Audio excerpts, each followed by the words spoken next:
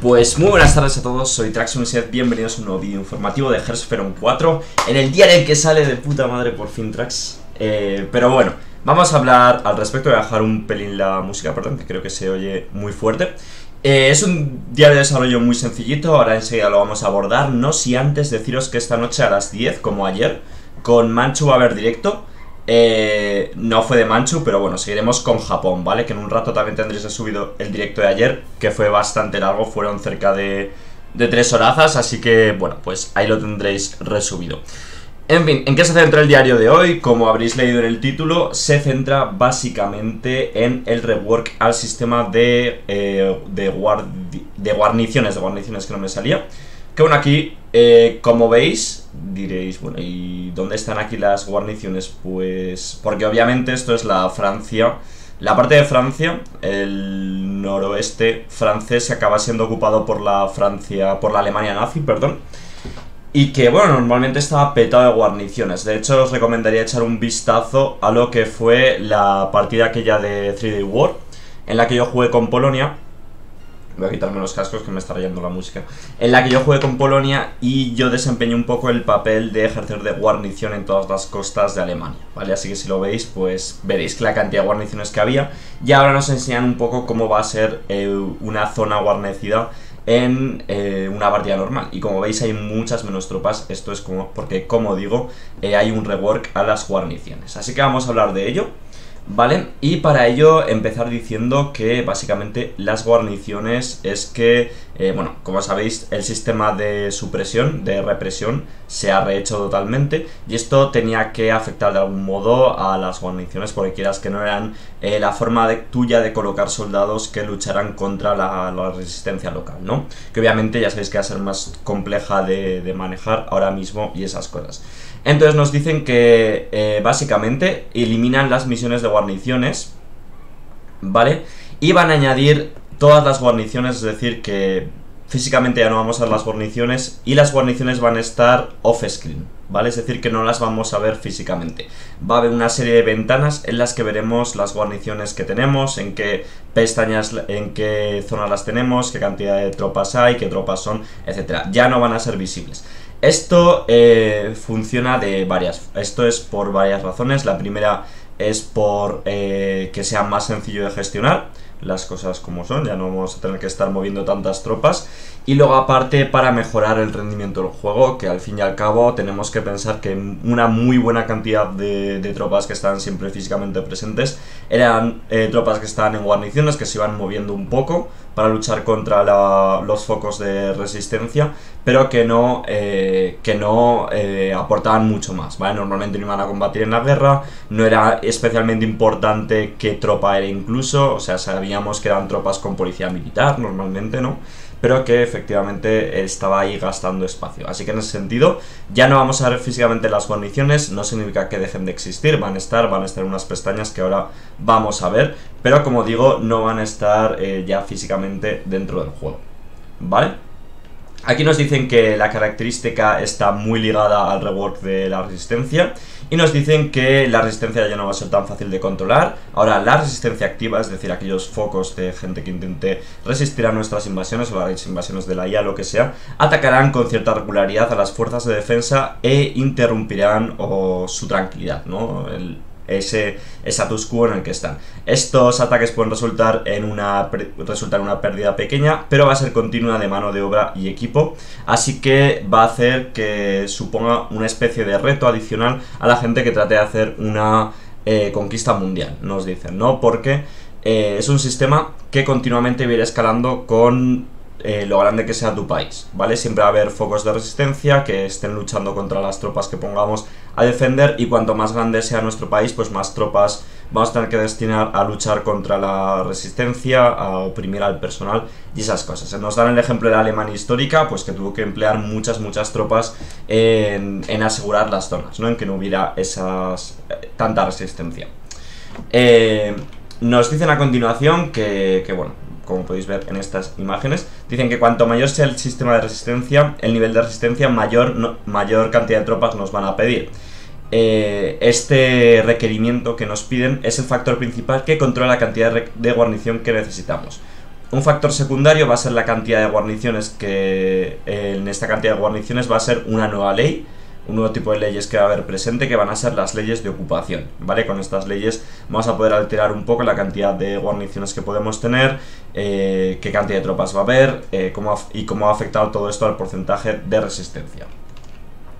A todo esto nos añaden que por supuesto vamos a poder seguir utilizando las tropas que queramos, en ese sentido vamos a tener disponibles eh, todas nuestras plantillas, como las hayamos prediseñado, las que tengamos ya, ya hechas por el juego, que ya nos vengan de, base, pues las vamos a poder utilizar a nuestro gusto, las vamos a poder seguir personalizando y utilizando para nuestras guarniciones. Así que eh, ese mismo, bueno, también nos indican incluso una, un indicador que son los puntos de supresión, que vamos a tener que tenerlo en cuenta y hacer uso, bastante uso de él para, con estas nuevas mecánicas, ¿no?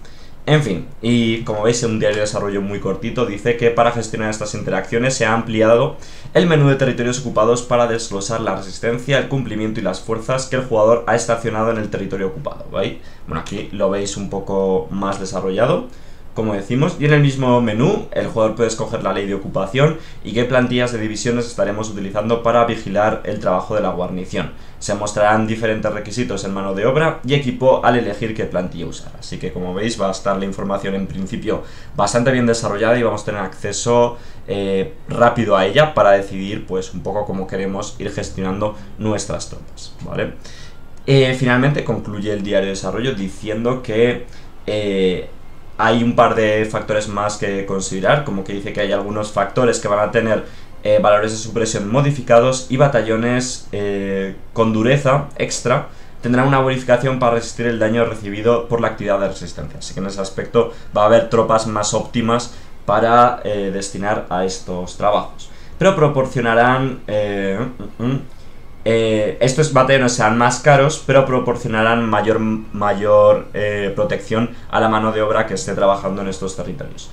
Em, la mano de obra puede ser más una preocupación a largo plazo que la producción, así que en ese caso podría ser beneficioso utilizar este tipo de batallones que sean más duros.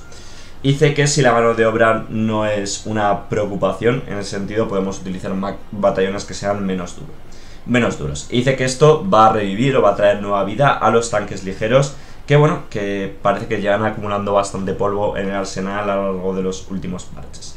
Y esto es todo por el diario de desarrollo, como digo, bastante, bastante eh, escueto, como decimos, un rework que está bien, pero bueno.